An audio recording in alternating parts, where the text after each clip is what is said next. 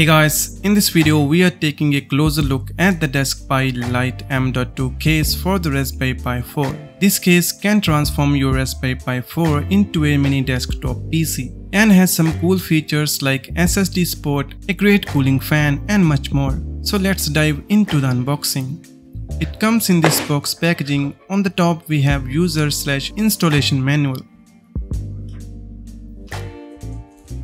Next we have the case itself. It is made of high quality plastic and has a sleek minimalistic design. Now as we open it up we have a lot of things inside here that I'll show you one by one. First up we have this really nice CPU fan that is completely made of aluminium. Next we have some screws for installing the board, some thermal pads and the main board itself. Additionally, here we have another PCB board with the M.2 slot on it. Keep in mind it's for M.2 SATA SSD not for NVMe. Finally, we have the top and the bottom part of the case.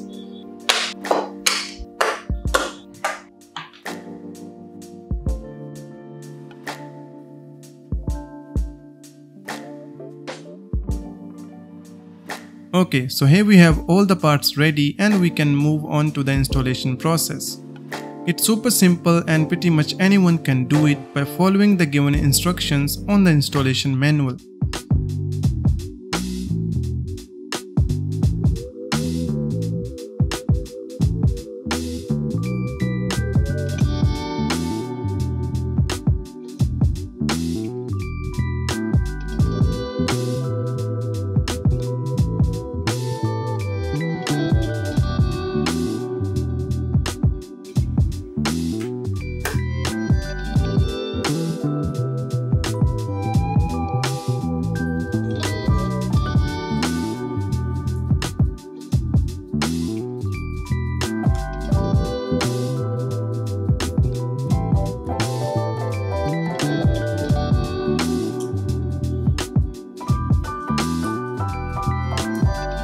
Okay, so we are almost done with the assembly and here we have the option to add an SSD. I don't have at this moment so I'll skip that step for now.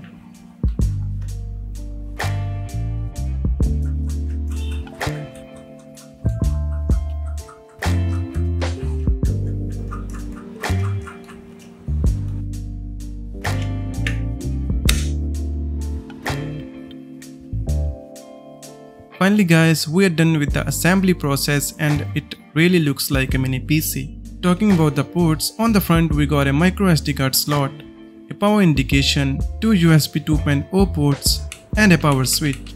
Here on the left we can still access the GPIO pins for all your projects. Turning around the back we have USB Type-C for the power input, two full-size HDMI ports, a headphone jack and all the ports that Raspberry Pi offers like two USB 2.0 ports. Now we left with only one USB 3.0 because another one is used for the SSD. And lastly we have the LAN connectivity. That's pretty much about it. Now let's install the microSD card along with an OS and see how it works.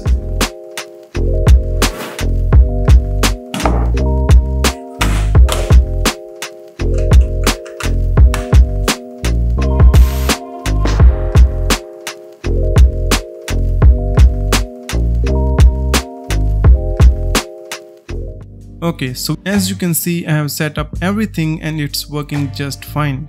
You have to do some additional settings in the OS to use all the features that this case provides you like the front USB ports and the CPU fan.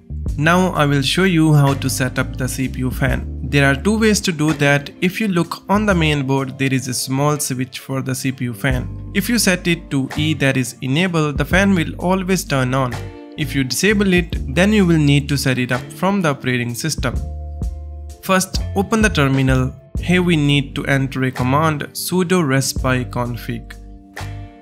Next, navigate to the performance option and select fan. It will ask would you like to turn on CPU fan temperature control? Choose yes. Here you will need to specify the GPIO pin which is 14 in this case. Now set up the temperature threshold. I recommend setting it to 260 degrees Celsius. Once you have done that, click OK.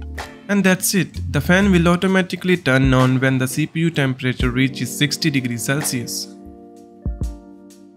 Personally, I really like this case and it can be a great choice if you want to overclock your Raspberry Pi 4 because this cooling fan does the job really well.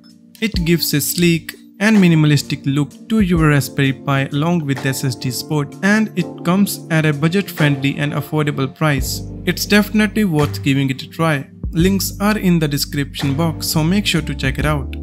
That's pretty much for today. If you like this video then make sure to give it a thumbs up and comment with your thoughts and ideas on this case. Thanks for watching and I'll see you in the next video. Bye bye.